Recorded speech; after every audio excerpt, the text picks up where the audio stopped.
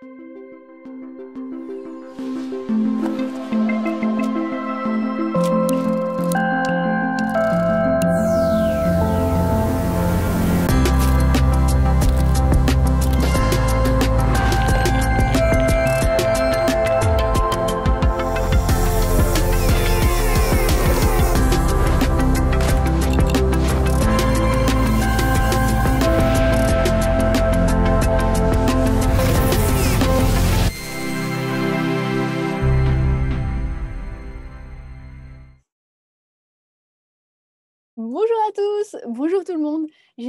allez bien, j'espère que vous avez la pêche, j'espère que vous avez passé un bon week-end.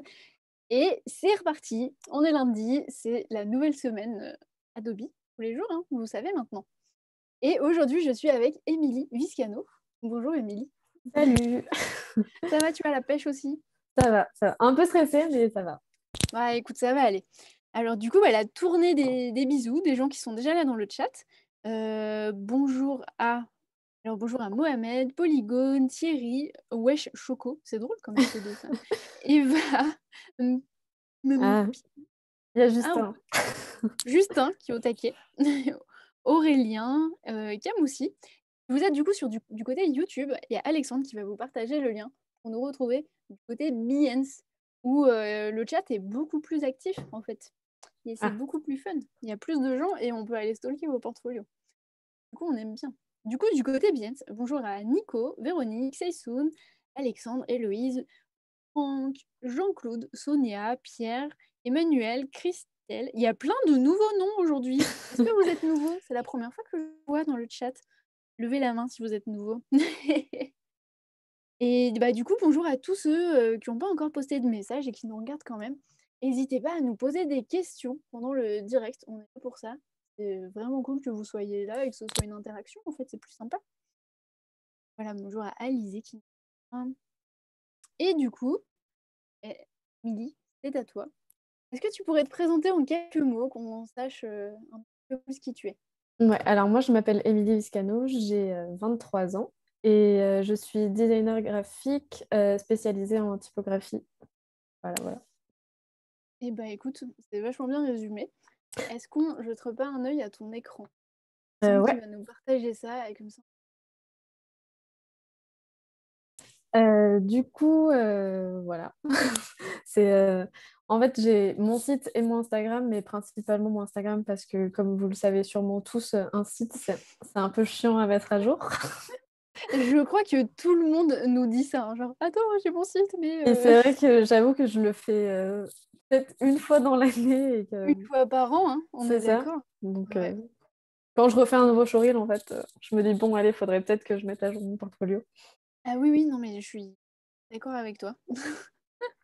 Donc voilà, je bosse principalement dans la typo et l'édition.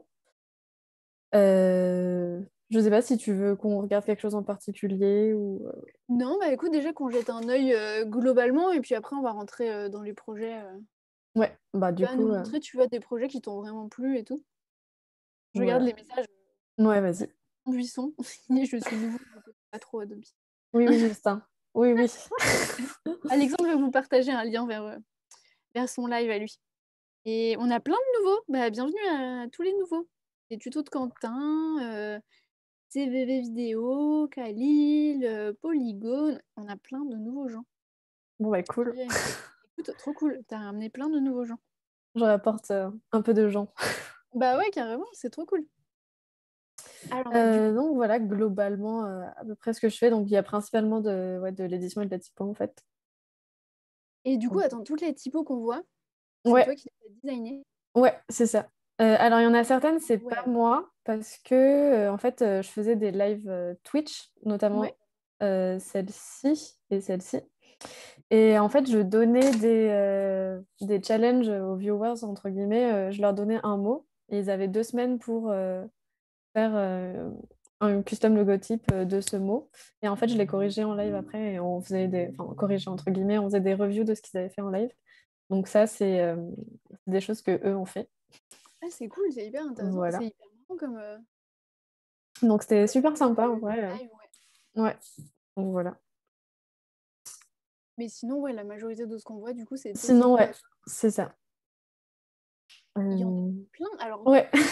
comment tu fais pour faire autant de typos? Moi, dans ma tête, une typo, ça met 14 ans et demi à fabriquer, tu Ben, en fait, euh, il y a la différence entre euh, de la typographie qu'on va utiliser euh, pour du corps de texte, etc., et ce que moi j'appelle du custom type, du- enfin du custom logo type, qui va être plus pour du, du brand en fait. Et du coup, là, c'est, on fait pas chaque lettre de l'alphabet, mais les lettres qu'il faut pour faire le logo en fait. Ok.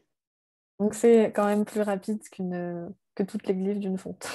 Ouais, c'est ça, que toute la fonte avec les l'espace entre les lettres et C'est tout, ça. quoi. Parce que du coup, moi, des fontes complètes, j'en ai terminé deux. Et il y en a une, Ouais. ça fait genre un an que je suis dessus et elle est toujours pas finie. Donc, Ah euh, oui, du coup, oui, on est d'accord. Enfin, ça prend. ouais, moi, ça, ça... Enfin, ouais, c'est ça.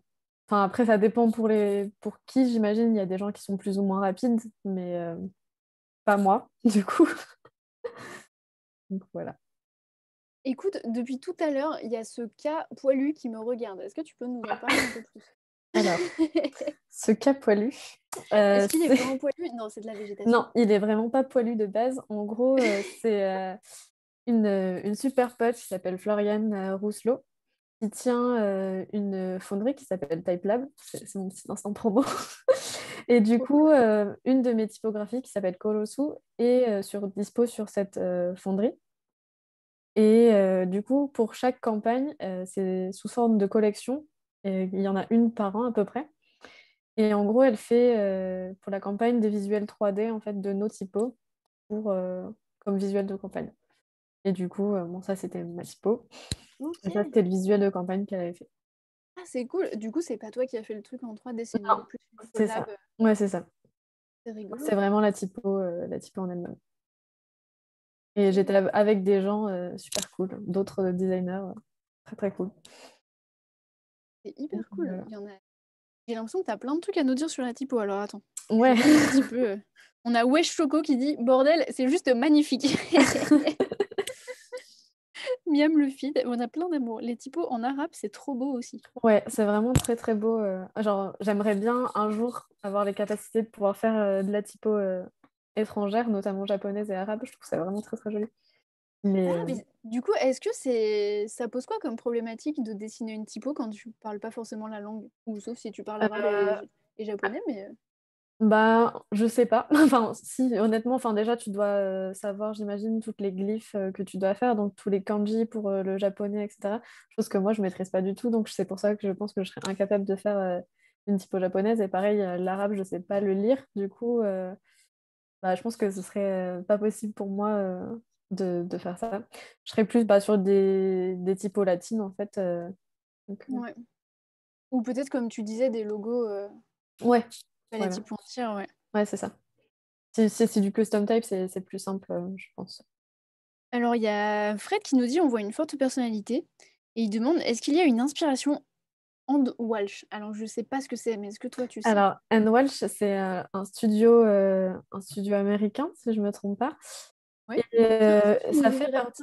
un petit onglet Google comme ça, on peut regarder en même temps. euh, Quand on connaît pas des trucs. et- donc, c'est Jessica Anne Walsh. Donc, c'est une. voilà. Hop. Donc, vraiment, elle a une esthétique super cool. Euh, ce qui est une de mes inspirations aussi. Donc, euh, voilà, voilà. Ça a l'air canon. Ouais, c'est vraiment cool euh, ce qu'elle fait. Du coup, tu Enfin, connais et ça fait partie de. Oui, ça fait partie aussi de, de mes inspirations, ouais.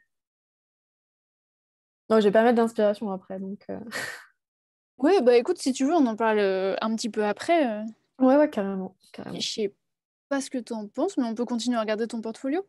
On Ouais. a euh, Sam qui nous demande quelle école as-tu fait? Est-ce que tu peux nous parler un petit peu de ton parcours? Alors, moi, j'ai un parcours euh, un peu particulier. Les gens qui, qui me suivaient déjà le sont un, un peu au courant. euh. Mais du coup, j'ai fait deux ans dans une école de communication visuelle qui s'appelait IARTSUP. Et j'ai quitté cette école après deux ans. Elle me correspondait plus, pas. Et j'ai continué chez ECV, donc euh, c'était à Bordeaux, tout ça. Ouais. Et j'ai fait un an à ECV aussi. du coup, j'ai été jusqu'au niveau de la licence. Et en fait, au bout de ma troisième année, j'avais un stage à faire, de, un stage l'été. Et j'ai choisi de le faire aux Pays-Bas. Et en fait, une fois que j'ai fini mon stage là-bas, j'ai décidé d'arrêter parce que je voulais rester là-bas en fait. Et euh, du coup, j'ai arrêté l'école parce que en fait, c'était très axé euh, publicité mm. euh, et très corpo, on va dire. Et c'était pas du tout ce que j'avais envie de faire. Et mon stage, en fait, m'avait fait découvrir des aspects plus expérimentaux, on va dire, que j'avais envie de continuer. Et du coup, j'ai arrêté et je suis restée aux Pays-Bas pendant un an dans un studio graphique qui m'a engagée pour un an. Et c'était vraiment une super expérience. Donc, et après, je suis revenue en France euh, et je suis montée sur Paris. Ok, bah, du coup, c'est hyper cool. Euh. Tu as appris beaucoup en... directement dans le milieu pro. Ouais, je pense que j'ai le plus appris euh, dans... pendant cette année et ce stage. Je dirais pas plus qu'à l'école, mais c'est quand même plus facile quand on est sur le terrain, qu'on a quelqu'un qui te fait confiance et qui te donne des missions. Et euh, donc, euh, c'est vachement plus enrichissant parce qu'on avait des projets à l'école qui étaient très encadrés, pas très libres. Du coup, euh, ça faisait du bien déjà d'avoir un peu un pied, entre guillemets, dans le monde du travail. Comment tu as fait du coup pour avoir ce premier job et tout de suite que ça soit un truc qui te corresponde et tout? Est-ce que tu avais déjà un portfolio qui était hyper canon Comment ils t'ont fait confiance rapidement Tu vois, je pense que c'est la question. Euh. Ben, du coup, en fait, à l'école, comme euh, j'aimais pas ce qu'on faisait, enfin, pas que j'aimais pas ce qu'on faisait, mais que ça me correspondait pas, euh, les projets qu'on nous donnait à faire, en gros, je me donnais des challenges. à l'époque, je faisais pas de typo encore, c'était surtout de l'édition.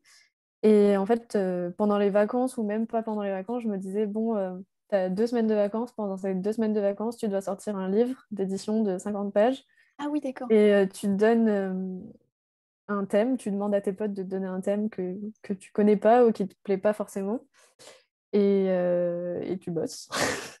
et en fait, euh, ouais, à la fin de l'année, j'avais un portfolio euh, qui était assez dense et qui n'était pas forcément de choses qu'on faisait à l'école, mais qui me ressemblait plus à moi en fait. Ok, c'est hyper intéressant. Et du coup, comment tu avais des retours sur ce portfolio-là J'avais pas de retour. T'avais pas de retour Ok, c'est hyper euh, courageux. Moi, je trouve ça fou. C'est vraiment genre. Euh, bah, après, euh, j'ai eu la chance d'avoir des gens autour de moi qui étaient plus âgés que moi et qui avaient un peu le même style que moi. C'était un peu mes, mes mentors, mes parrains mentors. Et qui m'ont aussi pas mal aidé à trouver ce que j'aimais ou ce que j'aimais pas. Je me suis donc des gens qui étaient des années au-dessus de moi. Donc ça, ça m'a pas mal aidé aussi. Et, après, oui, j'avais des amis, euh, des proches qui, me disaient toujours ce qu'ils en pensaient, etc. Même s'ils n'étaient pas forcément du milieu, euh, c'est toujours cool d'avoir un avis extérieur. Oui, carrément.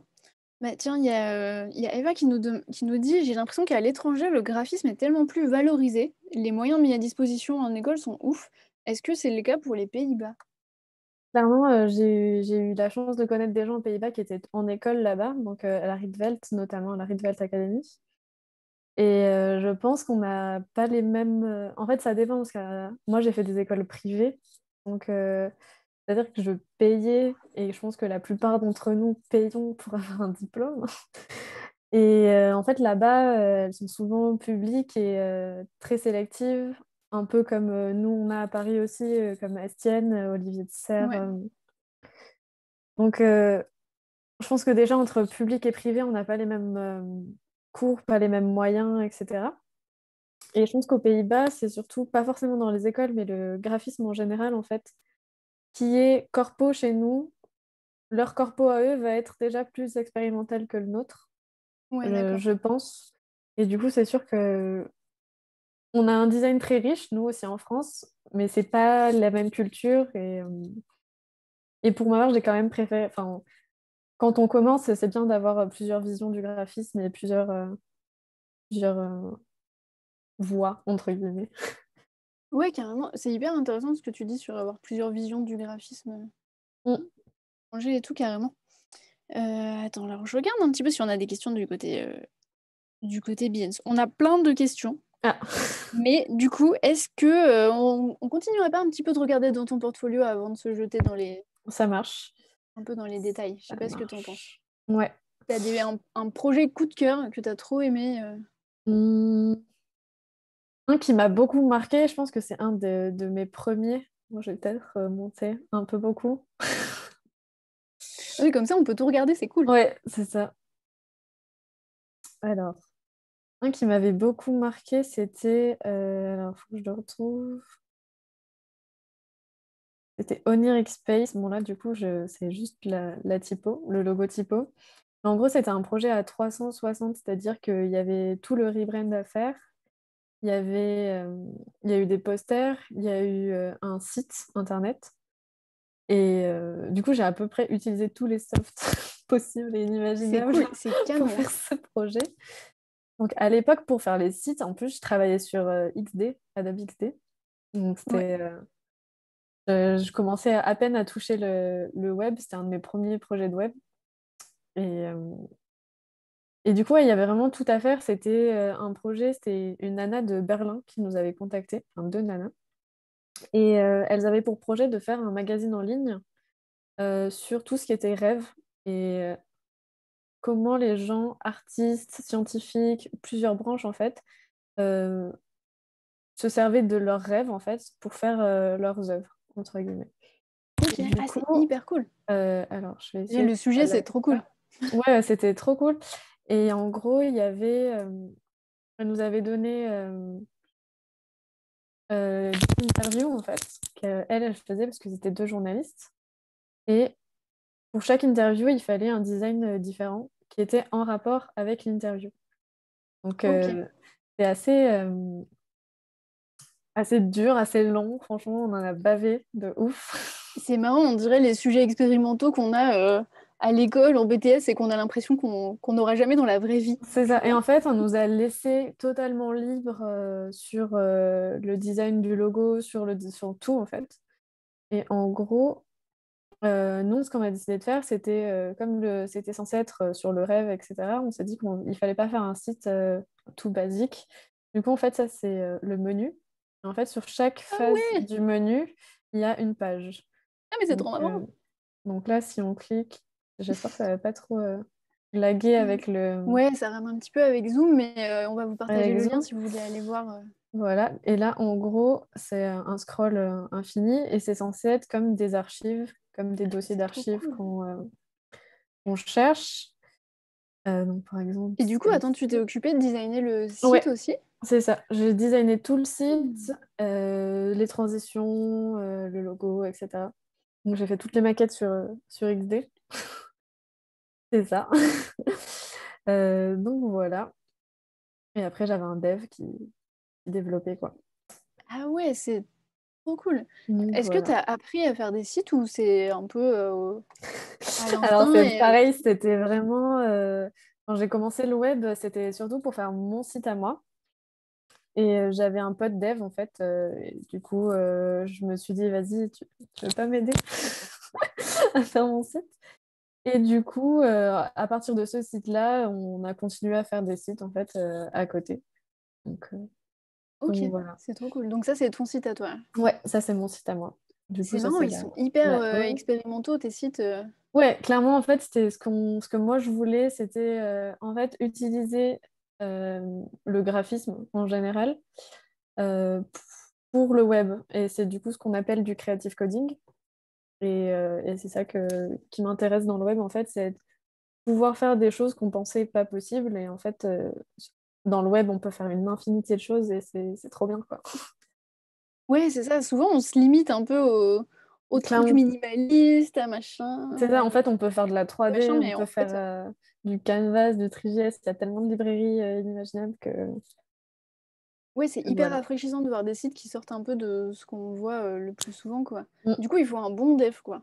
C'est ça, la... Et aussi ça. Comment on rencontre un bon dev euh, par chance à l'école. Euh, voilà. Bah écoute, euh, Justin demande, est-ce que tu peux nous en dire un peu plus sur ton studio, Studio Push? Bah, Du coup, c'est le studio qu'on a fondé avec ce dev, justement.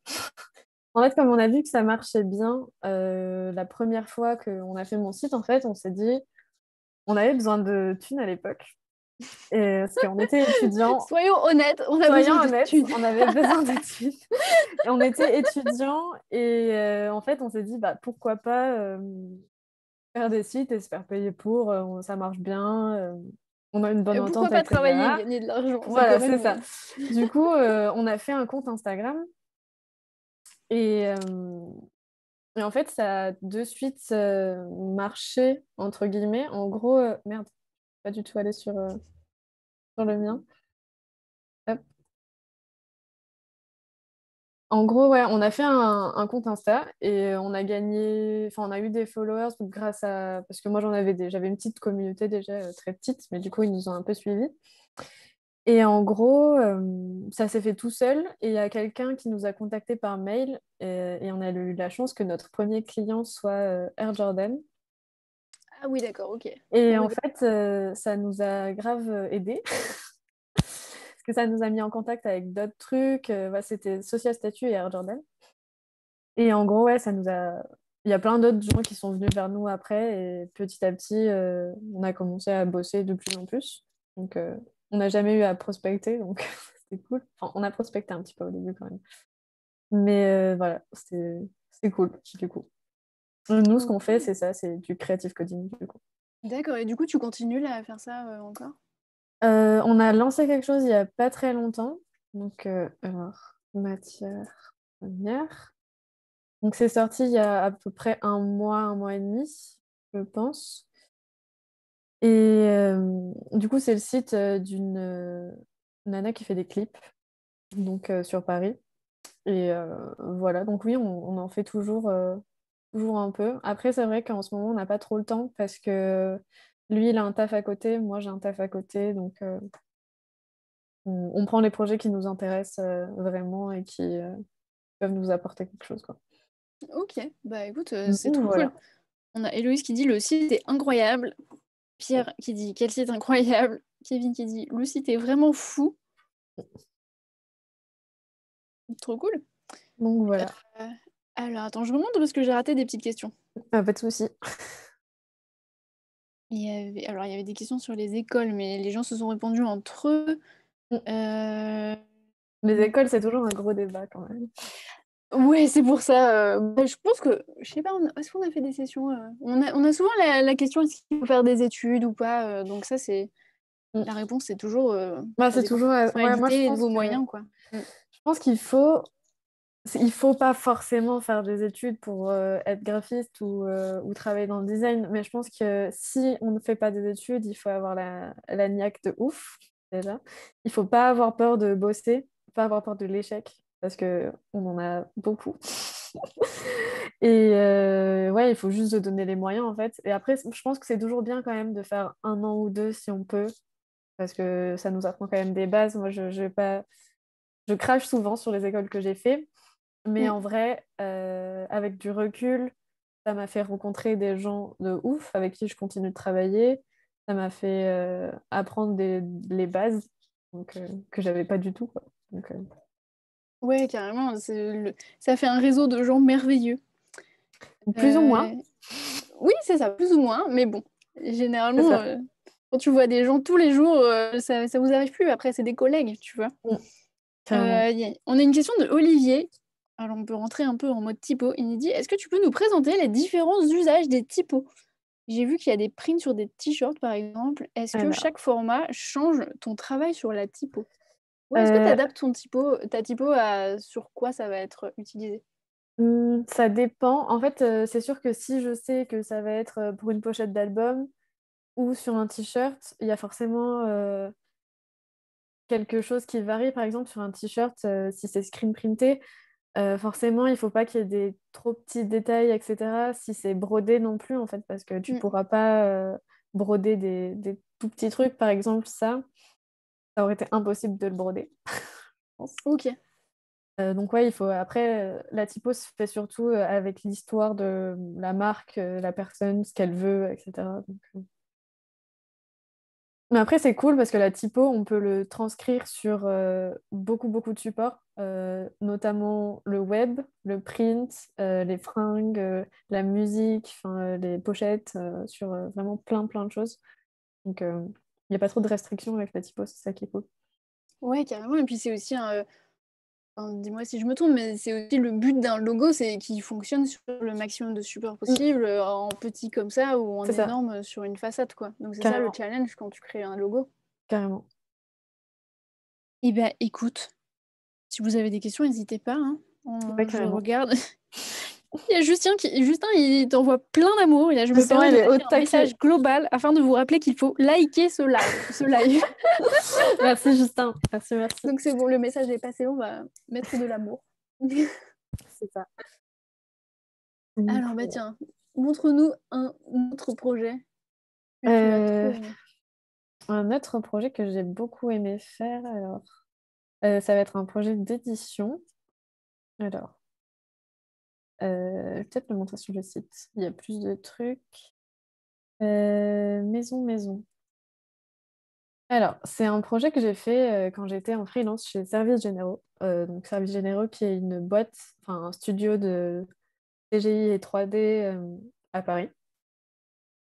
donc, chaque année, en fait, Services Généraux fait un projet personnel qui n'est pas destiné à un client, etc et qui est une sorte de autopromotion euh, pour montrer en fait de quoi ils sont capables et euh, faire venir du coup les clients euh, plus tard.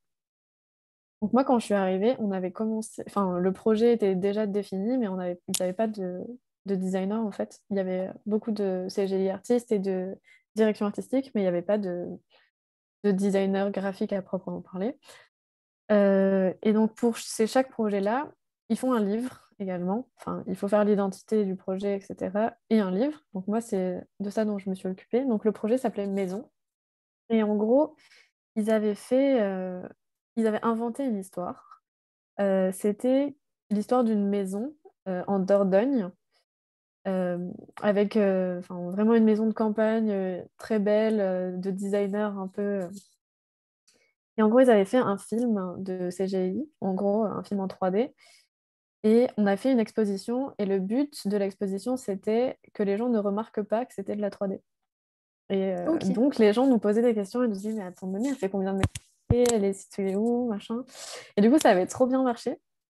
Et à côté de ça, on vendait du coup le livre que moi j'avais fait et racontait en fait le process et l'histoire de... de, de ça. Donc voilà. C'est hyper cool. On avait une petite préface. Hmm? C'est hyper intéressant que ça soit en fait, que ça soit un vrai projet artistique, mais dans une agence, tu vois, ça, ça mélange vraiment euh, ouais, la création. Très cool. Bon, après, ils sont très bons. Euh, donc, euh, voilà, toutes les photos en fait qu'il y a sur, les, sur le livre, c'est de la 3D. Donc, c'est des, bouts de maison, en gros, en 3D. En gros, ils ont demandé, tous les meubles qu'il y a dedans sont des meubles de designer, à qui ils ont demandé des photos, et ils ont refait, du coup, les meubles en 3D. Donc voilà. Ah, et du coup, bah, toi, tu t'es chargé de tout ce qui est édition. C'est ça. Tout ce qui était identité visuelle. Euh, il y avait les, euh, les affiches, tout ce qui était livre, euh, etc.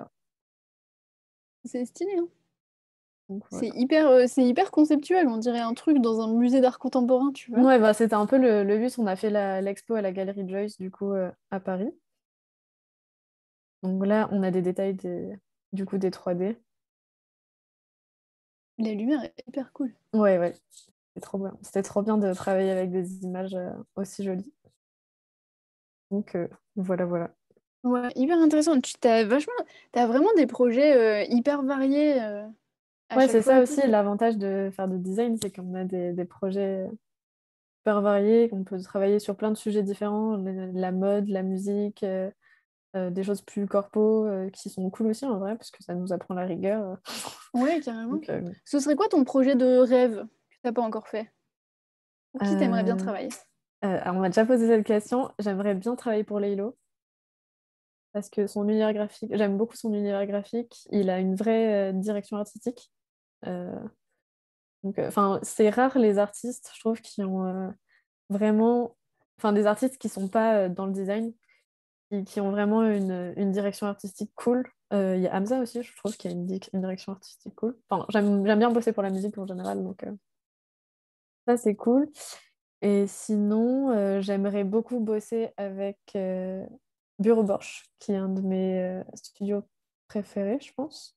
Donc, qui est un studio de design graphique en Allemagne. Voilà, voilà. Ouais, et du coup, bah, moi j'ai une question par rapport. Tu dis, tu vois, tu parles des artistes qui ont déjà une direction artistique. Est-ce qu'il n'y a pas un peu de challenge à créer un truc quand il n'y a rien du tout, tu vois? Ah si, clairement aussi. En fait, quand je veux dire qu'ils ont déjà une direction artistique, ça veut dire qu'ils n'ont pas euh, zéro culture de design, quoi. Parce que j'ai déjà bossé avec des gens qui, pour le coup, ont zéro culture de design. Et c'est hyper dur de leur faire rentrer que c'est ça qui est bien et pas euh, une comics sans MS. Quoi. ouais, ouais, carrément. Bah tiens, d'ailleurs, si tu as des tips, comment on dit, euh, comment on dit à nos clients que c'est mieux que, euh, Alors, en le fait, logo qui a été fait par leur petite nièce? Bah, Ça dépend des fois. En fait, le... ce que je me dis toujours, c'est que si quelqu'un vient vers moi, c'est que c'est moi qui veux, en fait. Et que du coup, c'est entre guillemets moi la pro et pas lui. Et du coup, c'est nous qui doivent écouter en fait. Sinon, euh, ils n'ont pas à venir vers nous et ils demandent à leur petite nièce, justement. Mais après, il faut le dire avec euh, beaucoup de diplomatie. ouais, carrément. Bah, et puis, il faut aussi avoir euh, beaucoup de confiance en soi pour être à ce niveau-là de sa carrière. Ou, Ouais, moi, c'est vrai qu'au début, j'osais pas du tout dire. Enfin, je faisais plusieurs propositions. Il y en avait une que j'aimais moins. C'est toujours celle-là qui était retenue. Et à chaque fois, je disais, bon, bah Ok. D'accord. Et je cherchais pas du tout à batailler, alors que maintenant, euh, je bataille pour avoir ce que je veux. Ou alors je montre qu'une piste.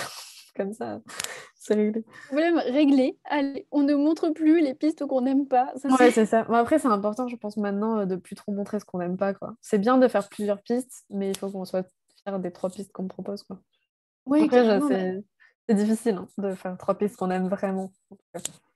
Ouais, c'est clair. Bah, pour ceux que ça intéresse, on avait fait une session avec Morgan Gage sur mmh. présenter son travail à ses clients pour les graphistes et tout. Et ça, ça peut être super intéressant. C'était hyper intéressant. Et d'ailleurs, si ça vous intéresse et si vous voulez qu'on en programme plus, des comme ça à la rentrée, bah, levez la main, criez, c'est le moment. On est en train de mmh. préparer le programme de la rentrée. Mais en tout cas, on va vous, on va vous repartager la session avec Morgan parce que c'était hyper cool. Il y a eu plein de questions pendant le live et tout. si ça peut vous aider. Alors tiens, revenons sur la revenons sur la typo. Alors déjà, il y a Alexis qui nous dit l'expo était grave cool. Ah, quelqu'un est venu? Eh Non, mon frère, il y avait tellement de monde, on s'y attendait pas. C'est vrai qu'il y avait autant de monde. Moi, je sais que de base, je devais vendre les livres. Euh, et mais en fait, il y avait trop de monde. Genre, on pouvait pas, il n'y avait pas assez de livres. Enfin, c'était galère. Ah ouais, c'est. Il fallait faire. Cool. Euh, ouais, c'était trop cool, mais euh, enfin, c'était cool, ouais. C'est une bonne expérience. Et on a plein de gens qui étaient là. On a Maximin qui était là, euh, ah, qui était là, Octo qui était là. Trop cool. C'est cool. On a Nico qui pose une question. Il demande Tu aimes bien tout ligaturer Est-ce que c'est ta marque de fabrique? Euh, clairement, ouais, quand je fais euh, de la typographie, en tout cas euh, du custom type, les gens en général viennent pour vers moi pour ça, parce qu'ils savent que c'est ce que j'aime, c'est ce que j'aime faire et je pense que c'est ce qui me fait le plus kiffer de faire. Ok, bah tiens, tu peux nous montrer quelques exemples? Par exemple, ça c'est de la ligature. Alors, En gros, la ligature, pour ceux qui ne savent pas, c'est lier deux lettres ou deux glyphes, une, enfin deux ou plusieurs glyphes entre elles. Donc euh, moi je le fais aussi sur les mots. du coup, euh, voilà, ça c'est par exemple un exemple de ligature. Euh, ici aussi. vraiment partout en fait. C'est magique. J'imagine même pas la galère pour créer une typo entière et en plus il y a les ligatures. Euh, bah, en général, euh, quand on crée une typo entière, on va pas faire toutes les lettres euh, qui vont être ligaturées, déjà parce que ça fait bugger le soft. et parce que bah, c'est pas très lisible d'avoir que des ligatures partout mm. quand c'est un corps de texte en fait. Bon, par exemple, tu te retrouves avec 40 lignes avec tout qui est ligaturé, je pense que c'est illisible. mais, mais pour d'autres trucs, par exemple, là, c'est la dernière typo que j'ai faite. Euh, en gros, il y a des ligatures pour, les... pour certaines lettres, mais, mais pas partout. Quoi. Est-ce qu'elles se mettent automatiquement ou il faut les choisir? Euh, Moi, je les mets... enfin, euh, il y en a que tu peux mettre automatiquement et d'autres, il y a des, des, alternatives en gros. Ok. Oui, moi, j'adore. j'adorais la avant-garde. Il y a les mm. Après, il y a des ligatures de base, par exemple le FI, FII, le FL, enfin. Et après, il y en a que bah, tu peux rajouter comme euh, le AR, Ouais, AB, AK qui n'existent pas normalement. Oui, après, il y a celles qui sont un peu plus, euh, un peu plus barrées. euh. C'est ça. Ah, tiens, il y a une question de Justin, qui est Ah. rigolote. T'as envie de répondre quoi quand on vient vers toi et on te lâche juste un Ça coûte combien une typo? Putain, ça m'arrive tellement. Et c'est. Déjà, les gens ne sont pas polis. Les gens ne te disent pas bonjour, on t'envoie Ah. juste c'est combien la typo? Ah, tu veux dire genre sur Instagram ou, ouais, euh, c'est ça, même par mail des fois. Enfin, genre, euh, Les gens sont trop rudes, je trouve parfois. Mais euh, Ok. euh, oui, c'est vrai que bah, c'est pas toujours agréable. Et que c'est vrai que souvent. c'est moins cher quand vous dites bonjour. Voilà, on va mettre les. Les gens se rendent pas compte en fait à quel point euh, c'est long de faire une typo, à quel point c'est du travail aussi. C'est comme euh, n'importe quel métier artistique en fait. Et les gens pensent que ça coûte genre euh, 10 euros la typo quoi. Genre, euh, enfin, j'ai déjà des gens qui m'ont à qui j'ai donné mes, des prix à l'époque où j'étais euh, enfin vraiment junior junior quoi. Et euh, c'est vraiment genre euh, ouais non mais euh, ça va euh, 50 balles pour un logo c'est ok. Enfin, non, c'est pas ok. Euh, Du coup, euh, non, c'est vrai que genre on des gens, t'as pas envie de répondre en fait. euh, donc, euh, j'ai juste pas envie de répondre des fois, j'avoue. Ou alors, je, Non, bah, genre, je suis un peu sanguine du coup. Genre, je sais que quand il y a des histoires comme ça sur les réseaux, ça m'énerve et que j'arrive pas à m'empêcher de pas défendre la cause des graphistes et de dire euh, non, en fait. Mais bon. carrément. Bah écoute, euh, nous on essaye, euh, on essaye de défendre la cause des graphistes. Euh, Moi j'essaye en tout cas qu'on qu'on reçoive des gens, qu'on essaye de parler un peu d'argent. D'ailleurs, euh, c'est hyper Ouais, cool. c'est hyper tabou en fait euh, de parler Ouais, d'argent non, souvent. Et je trouve ça un peu dommage parce que les jeunes, quand on commence, je savais pas du tout euh, sur quel prix me positionner en fait. Et j'aurais bien aimé qu'on me mette là-dessus à l'époque. Ouais, carrément. Bah é- écoutez, n'hésitez pas, euh, tous les vendredis, on a des sessions qui sont un peu plus axées business et Ça, développement. c'est cool. ouais. Et ça, c'est depuis cette année et euh, c'est hyper cool et ça marche bien. Et si ça marche bien, c'est parce que vous êtes là et parce que, parce que vous en voulez encore plus. Parce que par exemple, sur Adobe Yuka, ça ne marche pas. Et du Ah. coup, ils ont arrêté de faire ces sessions-là. Donc quand je dis que ça, ça marche, c'est grâce à vous, c'est vraiment ça. Donc n'hésitez pas si vous voulez en voir plus et si vous avez des idées, parce que vraiment, euh, c'est cool qu'ils nous laissent euh, l'opportunité de parler de ça euh, le vendredi, quoi. On sort des logiciels Adobe et juste on parle du monde de la créa, quoi. Mm. Donc voilà. Alexandre nous dit, moi, la dernière réponse d'un client sur un logo, c'était « tu me prends pour un Américain ». Ah, Celui-là, il est classique. Ah oui, pour les prix. Ah, du coup, le plus facile, c'est d'avoir des clients américains directs. hein. Bah, honnêtement, euh, c'est plus facile de travailler. Enfin, j'ai quasi... j'ai pas beaucoup de clients français. Et euh, c'est vrai que c'est les Américains, déjà, euh, niveau référence, etc., ils ont vachement plus de, de bandes passantes, on va dire.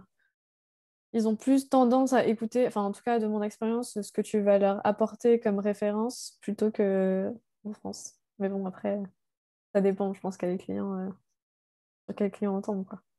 Ok, c'est hyper intéressant. Il y a une remarque de Fred qui nous dit « la ligature servait pour gagner de l'espace sur une largeur déterminée C'est très pratique.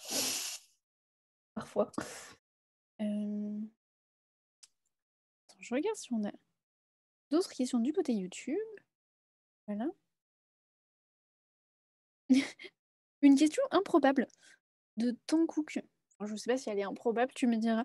Il paraît que la comics en MS est bonne, entre guillemets, pour les dyslexiques. Est-ce que c'est vrai?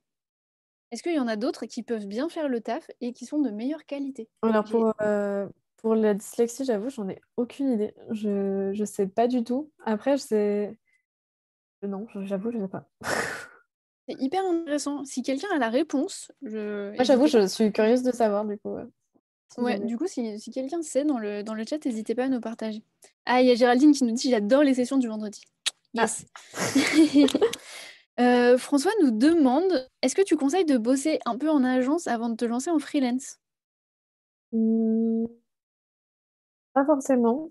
Euh, après, je pense que moi, j'ai commencé en freelance, euh, en freelance avant l'agence, mais je commençais vraiment des trucs euh, tranquilles. hein. Genre, c'était nul, entre guillemets. Mais j'étais déjà free quand j'étais étudiante, en fait. Et du coup, tu sais, au début, euh, tu bosses pour des potes, euh, tu Mm. bosses pour des petits trucs. Moi, un de mes premiers boulots, ça a été de bosser pour Cage. qui est une. C'était pour une association d'enquête, donc une école de commerce. je faisais des plaquettes pas du tout sexy. Mais déjà, ça t'apprend à te servir des logiciels parce qu'au début, quand tu es en première, deuxième année, bah, forcément, tu n'es pas au top non plus. Donc, tu es plus en confiance avec, bah, pour ma part, c'était InDesign. Tu...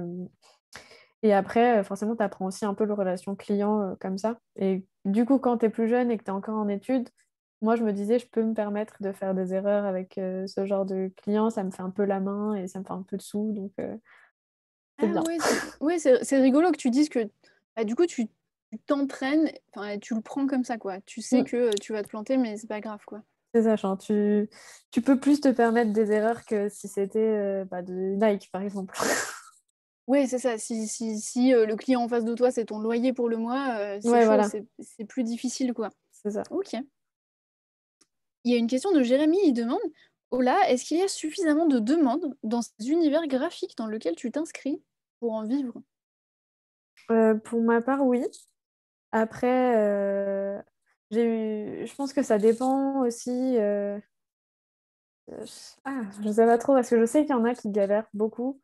Euh, j'ai eu la chance de pas beaucoup galérer, même si j'ai galéré à des moments. Euh. Je pense que les réseaux font aussi que ça aide beaucoup, hein, genre Instagram, euh, Twitter. plus tu postes, plus tu postes, plus tu as de la visibilité. Donc forcément, c'est comme ça que j'ai commencé à gagner de la visibilité. Après, c'était il y a déjà quelques années. Donc, c'est pas forcément les mêmes fonctionnements des réseaux, etc. Mais je pense qu'il y a beaucoup de demandes. Après, malheureusement, il y a, beaucoup de gens aussi qui font ce qu'on fait. Il y a beaucoup de designers. Euh, et c'est sûr que c'est dur de se démarquer, mais euh, mais il faut se trouver un truc en fait qui fait que y a que c'est toi qu'on vient voir pour, pour ça. Moi, c'est les ligatures. Donc, euh, Après, je pense qu'il y a quand même pas mal de travail. Hein. Surtout maintenant, avec le Covid et tout, il y a eu beaucoup de digitalisation. Donc, je pense qu'il y a quand même assez de, de, taf. Ouais, carrément. Après, si je peux ajouter, euh, si je peux ajouter quelque chose, c'est aussi, euh, pour travailler, c'est pas seulement c'est important d'avoir un très beau portfolio et de développer son skills, mais c'est aussi beaucoup de relations clients. C'est d'être capable de décrocher le téléphone, de répondre aux mails, de d'être sympa, euh, de d'envoyer ses factures à l'heure et en fait, vous imaginez même pas le nombre de gens qui ne font pas ça et même, juste parler aux gens. Genre, euh, quand tu vas dans des expos, bah, tu peux parler à des gens. Enfin, ça fait pas mal de contacts en vrai. Ça se joue aussi malheureusement beaucoup sur les contacts. Bah, carrément, mais juste euh, être un peu sympa, euh, aller à la rencontre des gens, être pas forcément needy et être. en fait, finalement, bah, il reste plus grand monde. Donc, justement, y y a... moi, je trouve qu'il y a énormément d'opportunités de de grandir de, sortir du lot euh, de cette manière-là. Je sais pas ce que tu en penses, mais... Mmh, clairement. clairement. Enfin, moi, je sais que je me vends très mal. je suis pas très... Euh, à l'oral, en tout cas, j'ai du mal. Du coup, c'est sûr que ça m'aide aussi de travailler à côté et de... Je mise tout sur mon capital sympathie, en fait. yes Ça, je, ça. je compatis grave. Euh, alors, attends il y a les réponses sur la comics en MS. Ah Alors attends, je prends mon cerveau parce que je lis en même temps. Euh, nanana, en tant que machin. Mais le coton dit la cabine est connue pour être facilement lisible, mais je ne sais pas si elle est spéciale dyslexique. Euh... Déjà, j'imagine que les sans sérifs sont plus faciles que les sérifs à décrypter. On a Théo qui nous dit la dyslexie et les comics en MS, c'est faux, c'est un petit mythe. Ah. Et donc, Kout nous dit ça n'a pas été designé pour la maladie, mais pour visibilité facile pour les enfants. Bah, du coup, le comics en MS, de toute façon, historiquement, c'était utilisé dans la bande dessinée, dans les comics. Donc, euh, donc euh, je... Mm. écoute, à approfondir. On a une question existentielle, tiens, de François. Ah. Tu as ton, ton propre style et tes clients viennent pour ça. Mais est-ce que tu as peur du moment où tu vas te lasser de ton style et vouloir changer? Euh... Pas trop.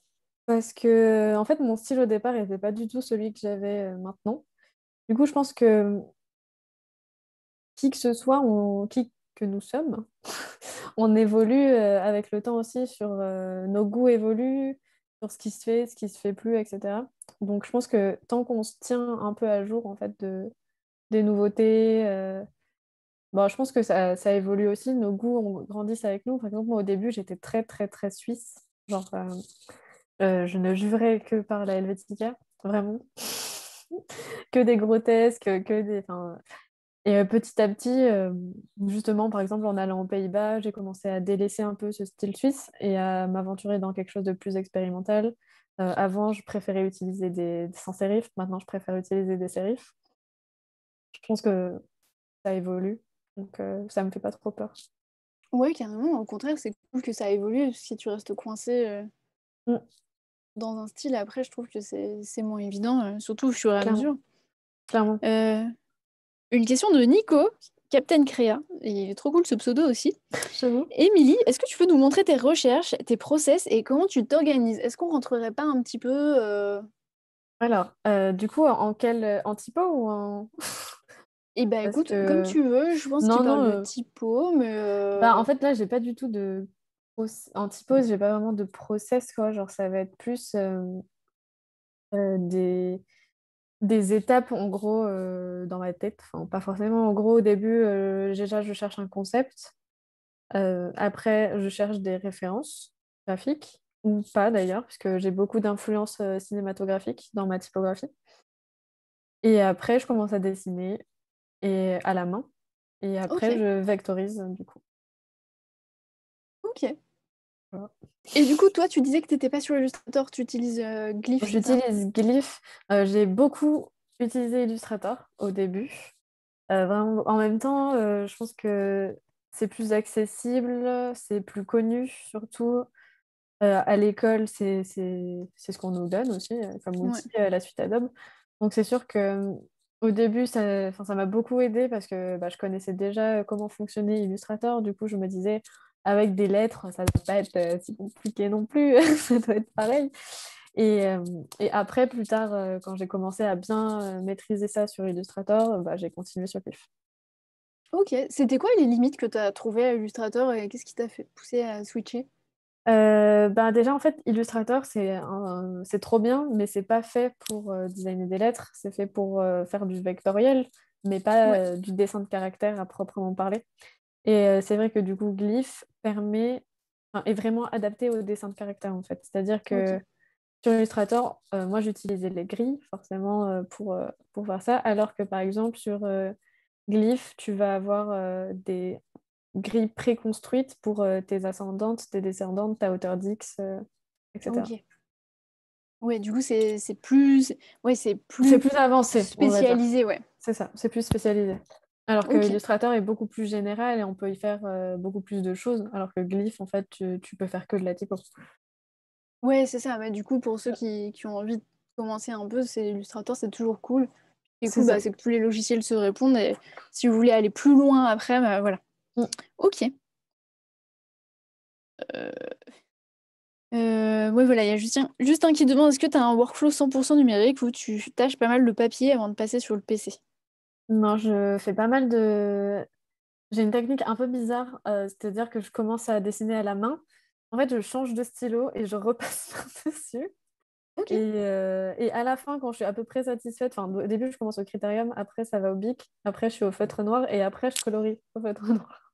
Ah, c'est rigolo, c'est trop euh, cool. en général, je fais ça. Pas des carnets bah, qui traînent là, moi j'ai envie de bah voir là, non, parce qu'en ressemble. fait, je suis pas chez... je suis, je suis pas Ok. Du coup, j'ai pas de carnet qui traîne. Mais, mais j'en ai déjà pas mal posté sur euh, des réseaux, du coup. Enfin, pas sur Instagram, du coup, j'avoue. Mais euh, sur Twitter, par exemple. Et euh, ouais, après, je trouve que c'est hyper... enfin, c'est plus fluide quand on commence à la main, en fait. Genre, Ouais. t'as pas de délimitation où tu te dis, bah, si ma courbe, elle est moche, c'est pas grave. Je la referai mieux plus tard. quoi. Ok. Du coup, du coup, voilà. Ok, c'est intéressant. Bah, du coup, c'est marrant, le truc des stylos, je voyais les animateurs faire ça, je sais pas si tu les as vus, mais je me souviens qu'ils avaient, euh, ils avaient la marque de crayon de couleur euh, spécifique. Ils faisaient genre le premier ref de dessin en orange, repasser en Trop cool. bleu après les lignes, et Ouais. après au, vrai, c'est orange ou un truc nickel pour faire le clean. Ouais, moi, ça reste pas clean du tout. hein. Quand je le refais par-dessus, quand je colorie, c'est toujours pas clean. Donc, Ouais, mais du coup, tu vois, c'est marrant ce process où tu, Mm. tu rajoutes au fur et à mesure, je trouve ça trop cool. Mais comme ça, tu vois le truc un peu se transformer et tu, du coup, euh, tu arrives à savoir à peu près euh, qu'est-ce qui y allait pas par-dessus. Quoi. Parce que tu vois, sur, sur les trucs numériques, on est tenté, dès que ça va pas, tu t'effaces quoi. Ouais, moi je l'efface jamais par contre. Genre, euh, je duplique. Moi j'avais un prof qui me disait tu copies, tu colles et tu décales. C'est resté dans ma tête. ok. c'est cool, c'est intéressant. Euh, bah tiens, tu nous as ouvert InDesign. Est-ce qu'on rentre un petit peu dans InDesign pour terminer? Il nous reste 10 euh, petites minutes. Ouais, bah en fait, j'ai commencé un projet. C'était un photographe du coup qui s'appelle Ryan Nora. ça, c'est mon Instagram si jamais vous voulez voir, euh, qui travaille principalement euh, dans la mode. Euh, donc, il fait beaucoup de photos pour, pour la mode. Donc, c'est quelqu'un que j'ai rencontré totalement par hasard sur Twitter, en fait. Et on s'est suivis mutuellement parce qu'on aimait beaucoup nos, enfin, on aimait nos travaux mutuels, alors qu'on n'est pas du tout du même monde. Enfin, lui est très photo, enfin, quoi. Et en fait, je lui ai demandé justement s'il était chaud pour qu'on fasse une collab. Et bon, là, du coup, en fait, j'avais juste posé les éléments, euh, j'avais pas du tout euh, mis en page ni rien. Juste posé la typo, euh, des quelques photos et poser le texte. Mais en gros, voilà, le but, c'était de faire un petit portfolio, enfin, une sorte de petit bouquin de son travail. Donc, il avait décidé d'appeler Polaroid Archive. Il shoot beaucoup au Polaroid. Et du coup, ça, déjà, ce que vous pouvez voir, c'est tout des polas. Il a... Enfin, c'est que des polas, quoi. Ah, c'est trop cool. Donc euh, ça fait un super visuel en vrai. Donc euh, bah, j'étais 4000 euros là. C'est ça, j'étais en train de commencer à travailler la couve, mais euh, bon, j'ai pas du tout, du tout avancé en vrai. Ouais, du coup, tu as juste jeté les éléments. Voilà, c'est ça. En fait, c'est ce que je fais en général quand je bosse sur InDesign. Je pose mes, mes éléments un peu partout et après, je, les, je les mets en page. Quoi, parce que par exemple, j'ai juste fait ma grille. pour l'instant, j'ai fait j'ai fait quelques gabarits, enfin j'ai fait deux gabarits. Euh, donc avec euh, la pagination auto, euh, le, titre, le nom. Mais après, j'ai juste vraiment juste posé mes éléments comme ça. Et généralement, d'abord, je pose les éléments et après, je fais, par exemple, mes styles de, de caractère, mes styles de paragraphe, etc. pour gagner du temps. Parce que sinon, c'est un peu chiant déjà si on doit. Avant, je faisais ça. Je, je, je tapais à la main euh, toutes les, les, nombres de pages. Sauf que du coup, quand je devais. Euh, faire des... faut en changer. Ah, c'était imp... c'était horrible. on a euh, tous fait ça, hein. on va pas se mentir. Franchement, c'était. On apprend ça, tu l'apprends dans l'expérience. C'est ça, je faisais. C'est ça, je faisais copier, coller au même endroit là, et après je changeais mes trucs. c'était super galère. Bah, pour ceux qui veulent euh, devenir trop forts en InDesign, n'oubliez pas les sessions de Franck, qui est une grosse brute dans InDesign et euh, qui fait ça euh, tous les mardis, je crois. Il fait beaucoup de, beaucoup de InDesign, donc n'hésitez pas pour ceux qui veulent apprendre les tips et tout. Moi, j'ai pas trop de tips à te partager. moi, c'est pas grave. mais, mais voilà, pour ceux qui veulent approfondir InDesign, n'hésitez pas, le mardi, Franck, trop fort. Voilà. Et du coup, voilà, donc je pose mes éléments d'abord. Je fais attention à ma grille. Après, j'essaye d'aligner sur la grille. Donc, euh, voilà. En général, je fais pas mal de recherches aussi avant de commencer un projet comme ça. Euh, sur euh, bah, des livres de photographie. En général, je vais... j'ai pas mal de livres chez moi en fait, de photographes, parce que j'aime beaucoup la photo aussi. Du coup, je feuillette pas mal ça avant de... afin de m'imprégner. je regarde aussi pas mal sur Behance, ce, qui, ce qui se fait, sur l'esthétique aussi de, de l'artiste, lui, c'est vraiment cool parce qu'il a beaucoup de. il n'a pas vraiment de. tout est différent, quoi. Genre, euh, il peut vraiment travailler ah, pour. c'est euh, hyper cool, ouais. Ouais. Ouais, c'est sympa, on sent qu'il a un. Il a une vraie patte. Euh, potentiel, c'est trop bien avec les trucs au feutre et tout. Ouais, j'adore. Donc voilà. Et puis c'est vraiment cool de travailler avec. Euh, c'est toujours très agréable de travailler avec des jolis visuels. Euh, on va pas se mentir que quand les visuels sont moches, c'est dur. c'est dur. ça rend pas, euh, ça rend pas forcément ce qu'on aurait envie que ça rende, alors que pour toi, ta mise en page est clean et tout, mais les, les visuels sont moches. toi, tu vas y passer combien de temps sur un truc comme ça? Ça dépend, parce que là, je pense qu'on va pas y passer trop trop de temps parce qu'il n'y a pas non plus trop trop trop trop de photos en soi. Enfin, je dis ça, mais il y en a quand même un peu pas mal.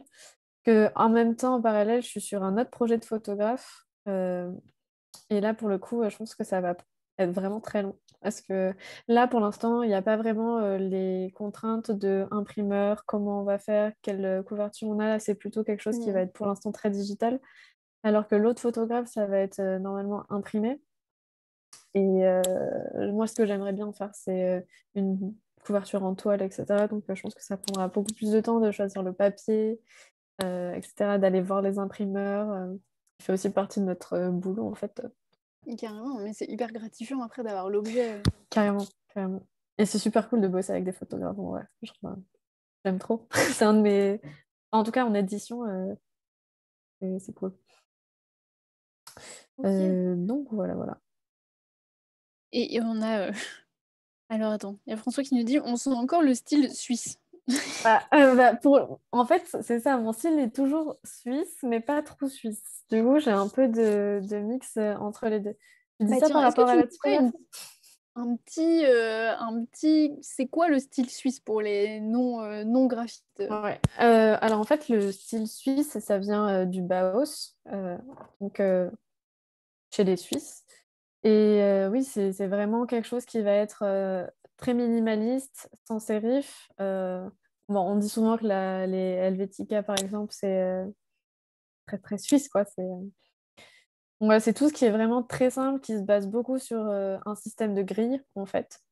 Et ça va à l'essentiel. Il n'y a pas de superflu, il n'y a pas de type ornemental, il y a vraiment des grotesques, des sans sérif. Donc ça, c'est un parfait exemple d'une typographie suisse. Donc, elle s'appelle Lausanne, donc, qui est une très très belle typo d'ailleurs. je vous recommande de, l'acheter. Surtout acheter les typos, ne les craquez pas. Ah oui, alors ça on en parle à chaque fois. Acheter les typos. Acheter les typos, acheter les softs. Et on va aller encore plus loin. On avait, un... on, on avait quelqu'un qui faisait de l'édition, qui était venu nous voir et qui nous disait acheter les typos des gens vivants. Ah bah oui, euh, oui, clairement. Moi, c'est ce que, enfin, aussi, j'ai pas mal de potes du coup qui sont dans la typo et euh, c'est toujours gratifiant que tes potes utilisent tes typos, d'utiliser les typos de tes potes. Donc, euh, donc voilà, en vrai, c'est sûr que qu'il y a plein de nouvelles typos qui se font. Enfin, moi, avant, j'utilisais systématiquement la Helvetica quand j'avais besoin d'une typo sans sérif, grotesque. Maintenant, euh, j'utilise la Lausanne, qui est quelqu'un de vivant. Donc, euh, euh, et il y a plein. Bah, D'ailleurs, Justin qui a, qui a fait un petit site qui s'appelle. C'est ton moment promo, Justin, qui s'appelle Pousse ta ah bah, Et bah, du coup, oui, là... comme ça, on peut regarder en même temps.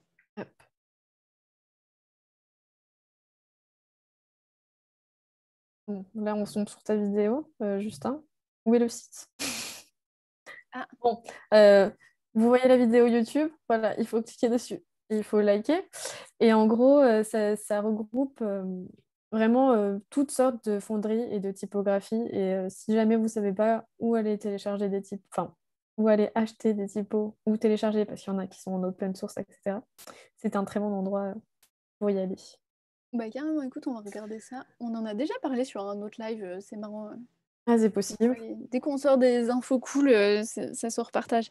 Oubliez bah pas, vous avez aussi des milliards de typos dans Adobe Font. et franchement, il y en a des très cool en vrai.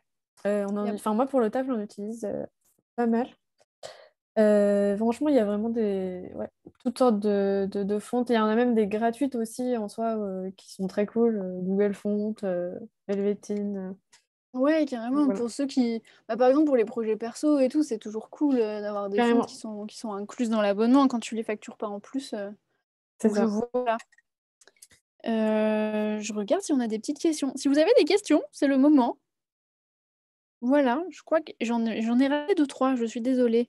Mais normalement, je pense que j'ai dit un petit peu, un petit peu tout. En tout cas, c'était très cool. Et bah, très chill. Bah ouais, carrément, on est tranquillou. Bah, est-ce que tu as un petit mot de la fin, un dernier truc que tu as envie de nous partager C'est le moment? Euh, qu'est-ce que j'aurais envie de vous partager? Moi, j'ai déjà partagé un truc là, un gros truc. Euh, non, en vrai, euh, si vous commencez et tout dans le graphisme ou la typo, franchement, on, se on a beaucoup de déceptions, mais en vrai, il faut pas s'arrêter, il faut pas avoir peur de l'échec. Moi, je sais qu'on m'a beaucoup dit non, mais en vrai, il faut juste pas abandonner et, et c'est tout, quoi. Bah écoute, moi je trouve que c'est un mot de la fin. C'est un mot de la fin plutôt cool. Voilà, voilà. Euh, tiens, il y a Justin qui est au taquet. Euh, il te dit merci d'avoir partagé, euh, sa vidéo. Il faut bah, partager bah, entre, entre nous. C'est important de se soutenir aussi, au lieu de se tacler les uns les autres. franchement, c'est hyper important ça aussi ce que tu, ce que tu dis. Il y a de l'amour et se soutenir entre créa, c'est pas un truc de compétition quoi. Ça dépend. il peut y avoir de la il peut y avoir de la compétition, mais dans la dans, le respect. Ouais, c'est ça, un, truc sain en fait. C'est ça. Il y a Héloïse qui nous dit Google me suggère de remplacer pousse ta fonte par pousse la fonte. Je ne vais ah. plus à la salle. Je voyais juste quelqu'un qui disait que la Lausanne était super chère, mais en fait, euh, tu peux acheter des graisses euh, séparément.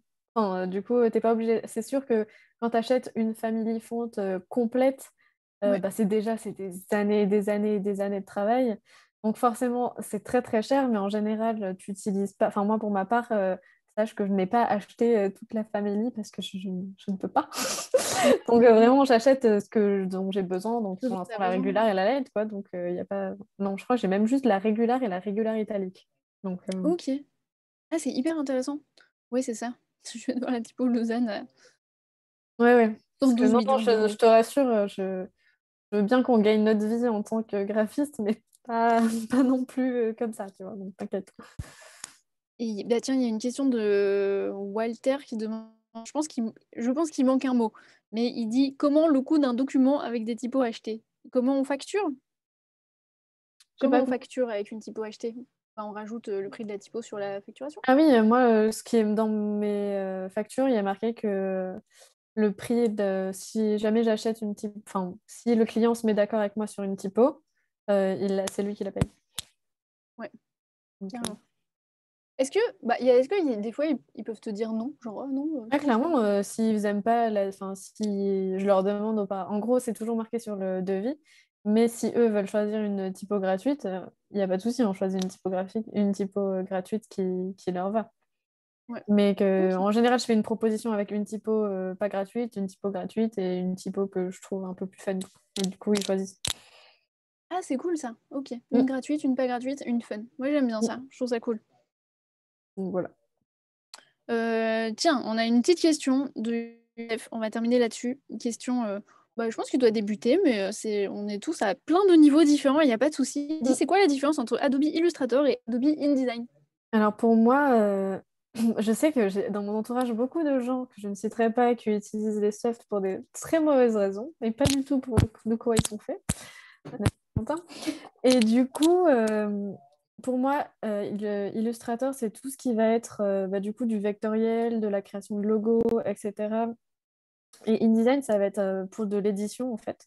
Donc, avec InDesign, tu peux vraiment faire de la mise en page. C'est quelque chose qui est vraiment fait pour ça. Donc, tu as un système de grilles, de gouttières, il y a pour tout ce qui est impression, il y a des fonds perdus, etc. Sur Illustrator, tu peux aussi mettre des fonds perdus, mm. mais euh, c'est quand même bien moins adapté euh, à l'édition pure, entre guillemets, je pense. Ouais, c'est ça. Si tu as un catalogue de 500 pages ou un bouquin de, de 1477 pages, ce qui est, probablement pas possible avec l'impression, c'est plutôt InDesign. Si tu dois le faire dans Illustrator, euh, ça va être compliqué, quoi. C'est ça. Puis tu as des raccourcis T'as des raccourcis, enfin, je veux dire, euh, as des... tu peux faire des. Ah, euh, comment dire? J'ai perdu mon mot. Euh, pour les paragraphes, en gros, tu peux te setuper des trucs, en gros, pour te, pour te dire ce paragraphe, des styles de paragraphes. Voilà. Oui, carrément. Ils vont automatiser et tout. Bah, du coup, on t'invite à aller voir les, les, sessions InDesign et tout, si tu veux, si tu veux qu'on aille plus en détail si tu veux aller plus en détail euh, là-dessus. Voilà, et bah écoute, on va terminer là-dessus. Ouais, bah merci beaucoup, c'était vraiment très cool. Merci à tous. Vous étiez 4 milliards sur le chat et il y avait plein de questions. Ouais, c'était très cool. Merci beaucoup. Merci à Justin. Je pense qu'on va l'embaucher en animateur de chat euh, tous les jours. Voilà. je pense qu'on va faire ça. Donc, bah, merci à tous. Merci à toi, Émilie. C'était hyper cool. Merci beaucoup. N'oubliez pas, euh, bah, toute la semaine, on est là euh, à la même heure, tous les jours. Donc, demain, vous avez. Demain. Alors, attendez. Bah, demain, normalement, c'est Franck qui fait une session sur. je sais plus ce qu'il fait, je l'ai vu passer tout à l'heure, mais. Ah oui, c'est dessin à la peinture dans Fresco. Donc ça va être hyper cool. Mercredi, il y a de la photo. Jeudi, voilà. Donc, la semaine. N'hésitez pas à venir nous voir. On aime bien vous soyez là. Ils sont très très cool. Ils mettent bien à l'aise. Voilà. on essaie d'être gentil. Et puis plus vous êtes là et plus on peut rester là. Vous voyez ce que je veux dire? Donc, merci à tous. Je vous envoie plein de bisous. Merci, Émilie. Merci. Et puis, bah, à la prochaine fois. Ouais. Salut.